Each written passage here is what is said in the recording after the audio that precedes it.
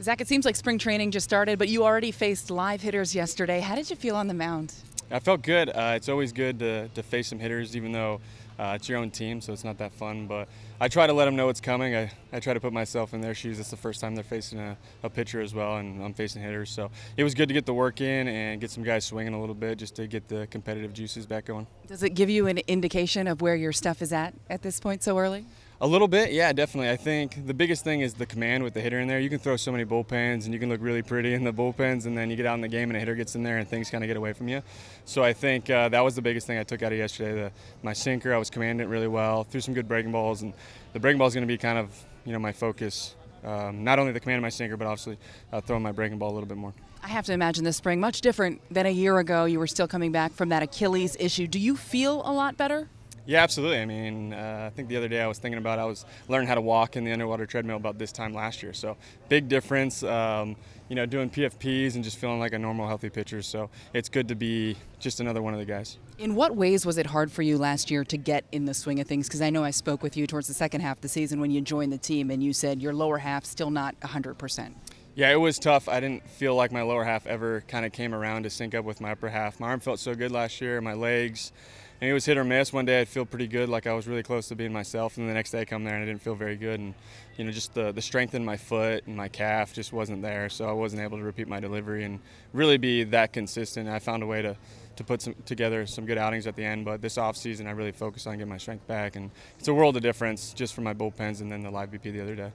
What was it about your experience with the Yankees last year that led you to wanting to sign with them in, in free agency in this offseason? You know, there was a couple things.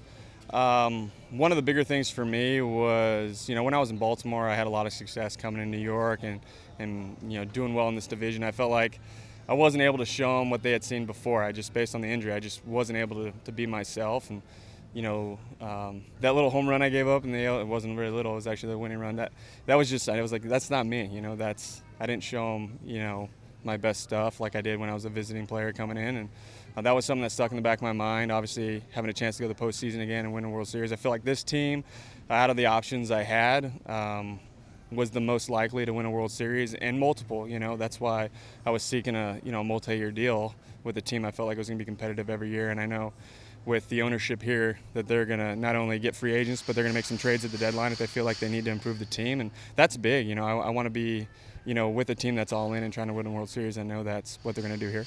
Talk about going all in, trying to win. Obviously, you are back. Ottavino, that bullpen again is setting up to be pretty nasty. What are your views on, on what you guys have done with the bullpen and how deadly you can be back there?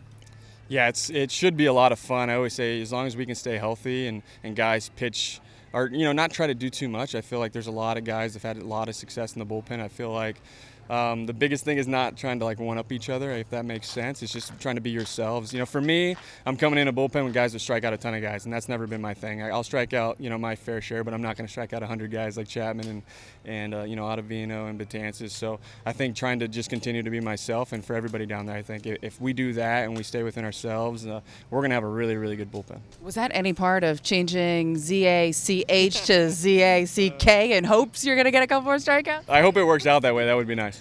Is it even fun for you, a guy that's been in the league for a long time, to watch some of those guys throw with the stuff they have? Yeah, it's interesting. You know, I, you know, I had a couple good guys in Baltimore that were in front of me, but you know, when you have seven guys that have the ability to, to close on other teams and pitch in high leverage situations, it's fun. You learn a lot.